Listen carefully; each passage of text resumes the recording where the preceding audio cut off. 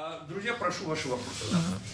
Александр Куприянович, вот не могли бы вы вашу концепцию пассионарности э, песчинка, человек или демиург прокомментировать на каком-то конкретном примере? Ну, скажем, такой яркой личности, как Иосиф Александрович Бродский. Э, мог бы. На примере такой яркой личности, Иосиф Александрович Бродский. Э, это даже очень хороший пример, да, потому что, ну ладно, там, Пушкин был певцом империи по-своему.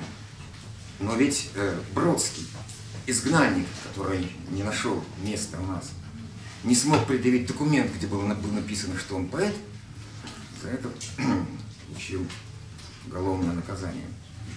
И тем не менее, это был человек, который э, в своей поэзии отстаивал, э, когда об этом заходила речь, высшие имперские ценности. Вы вспомните его э, пьесы, посвященные, пьесу «Мрамор», например, да? это же фактически э, апология римского имперского начала. Ну, вспомните его знаменитые стихи об Украине.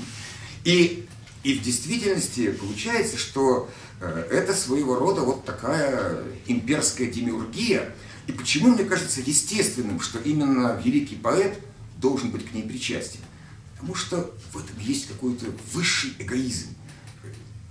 Доколе будет жить этот великий язык, на котором создана моя поэзия, да то ли и я буду славить в подлунном мире.